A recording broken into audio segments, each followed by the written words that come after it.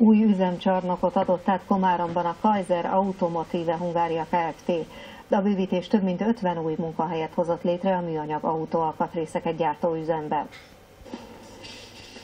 Üzemanyagvezetékeket gyártanak a komáromi üzemben.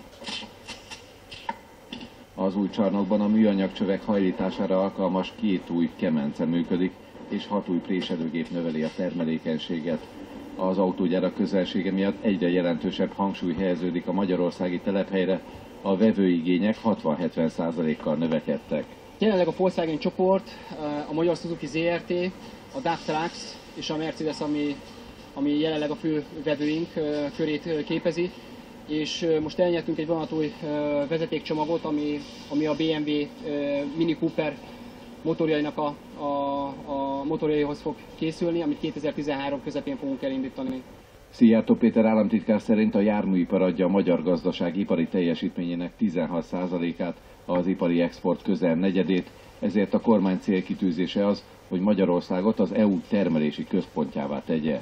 Az a tény, hogy a Magyarországon működő nagy járműipari vállalatóriások és a hozzájuk kapcsolódó beszállító cégek folyamatosan bővítik a tevékenységüket, az azt bizonyítja, hogy már a Magyarországé lesz Európa egyik legversenyképesebb gazdasága. Az is látszik, hogy egy-egy ilyen beruházás nem önmagában áll, hanem újabb és újabb fejlesztéseket indukál. A Komáromi Nokia több ezres leépítése nehéz helyzetbe hozta a környéken élőket, de a hasonló fejlesztésekkel sikerült csökkenteni a munkanélküliséget.